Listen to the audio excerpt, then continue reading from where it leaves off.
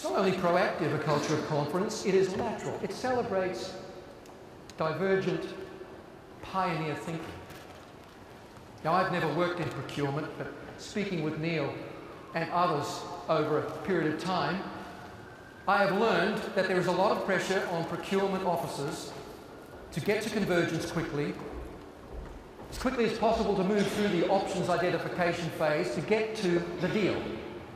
So you've probably got people in the enterprise who saying to you, engineers and marketers and others, saying, get me the deal, get it fast, and it better work when it arrives.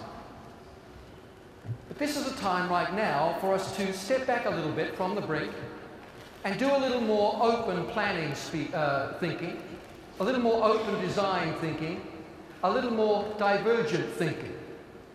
Divergent thinking happens on the edge of the radar where just about nobody else is watching, and it is what drives innovation. Convergence doesn't drive innovation, divergence does. Einstein would have been right off the chart here. He openly admitted that the inspiration for his world changing formula, E equals mc squared, the basis of the theory of relativity, came not in the moment of considering mathematical formulae or the laws of physics. It came as he sat gazing out a window at a light beam, just daydreaming.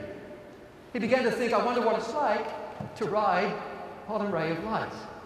And out of that came the inspiration for this formula, which changed not only physics but the history of the world.